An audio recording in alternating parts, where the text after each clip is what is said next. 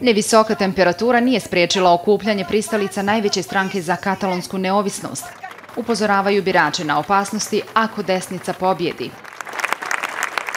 U ovoj regiji od 7,5 miliona ljudi, koja čini gotovo petinu španske privrede, autonomija je bila realnost.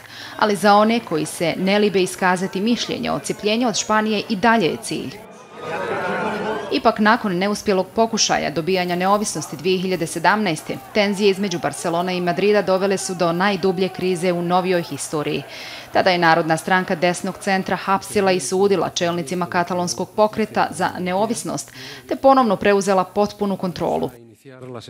Nova era dijaloga počela je kada je Pedro Sanchez, čelnik Španske socijalističke radničke stranke, postao premijer 2018. Njegova tjesna većina u parlamentu u posljednjih pet godina značila je oslanjanje na glasove i katalonske i baskijske separatističke stranke.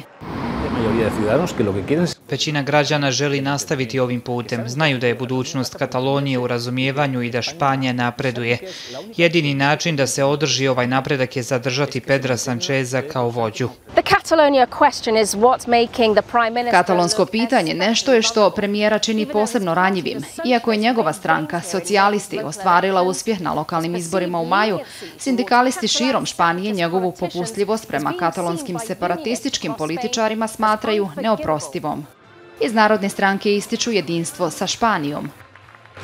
Narodna stranka će omogućiti poslove, održavati bogatstvo i dijalog s katalonskim društvom i učinit ćemo to u pogledu njegovih karakteristika, ali pripadajući važnost jedinstvu koje katalonci dijele s ostatkom Španije. Pobjeda Narodne stranke vjerovatno bi bila potpomognuta podrškom krajnje desničarske partije Vox, koja je obećala obrušavanje na regionalne pokrete za neovisnost. Iako bi ovo mogao biti poklon za njihove pristalice unionista, za separatiste bi to bila prevelika provokacija.